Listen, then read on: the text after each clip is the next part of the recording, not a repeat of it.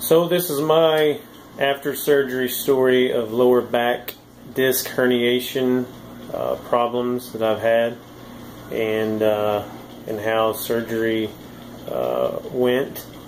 So a little history. I hurt my back over 15 years ago lifting on a job the wrong way. Uh, it affected two lower discs in my back I've dealt with the pain ever since then. When I did it, I met with a surgeon. Uh, I was probably about 20 years old, and he had said that I was too young to do surgery on. Uh, so I did physical therapy, uh, which relieved the pain uh, for many years. Uh, I just think it was bulging discs at the time.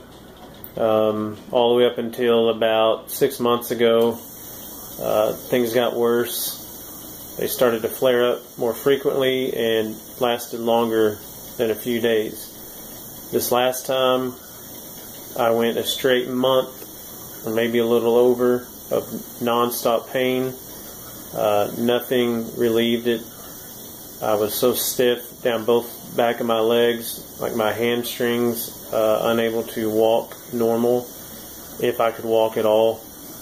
Putting a shoe or sock on was uh, pretty much impossible. Driving was horrible.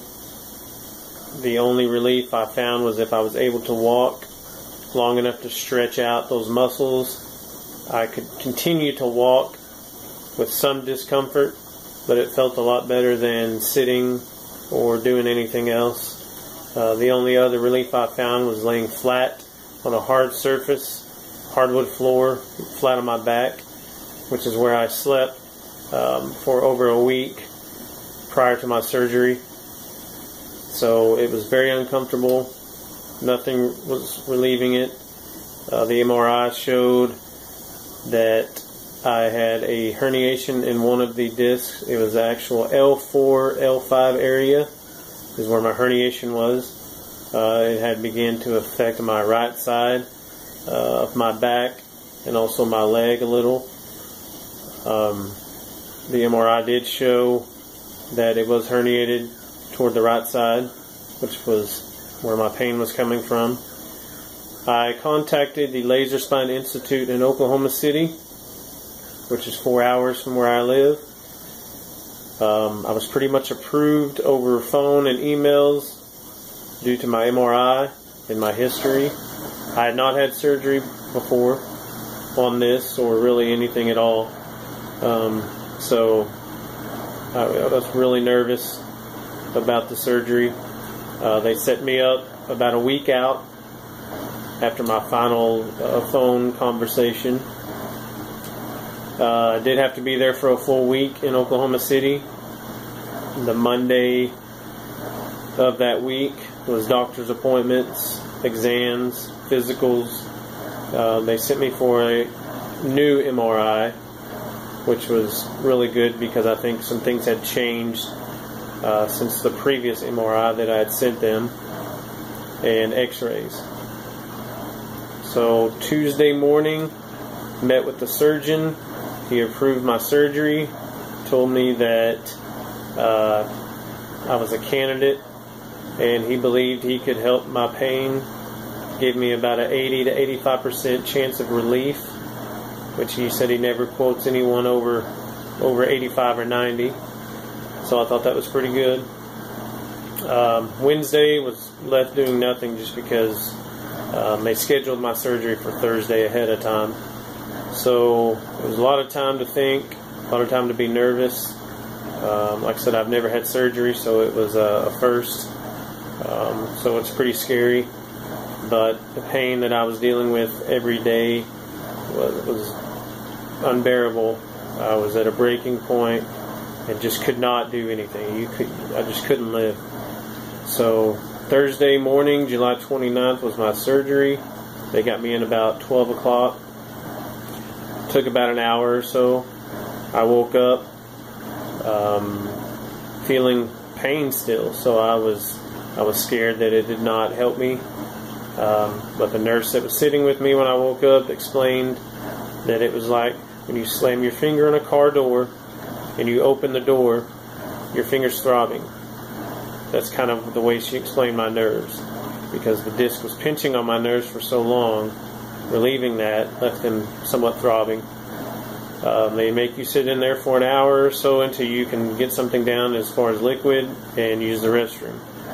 I did that. They wheeled me out in a wheelchair to my wife's car, and I stood up straight for the first time in over months uh, with no pain. So I, right then, I, I, I could feel the first sign of relief. Got in the car, go back to the hotel. That night, I was walking around, taking full strides, which I hadn't done in a very long time, wearing a brace that they give you, but I had no pain. If I had any kind of discomfort, it was just from the incision, but it wasn't a pain. You could just tell something was there. The next day, Friday, was my post op exam. They just went in and looked at my uh, incisions, made sure all that was good, and it was, and made sure I was not feeling pain, and I wasn't. They sent us home, which was a four hour car ride back to my hometown.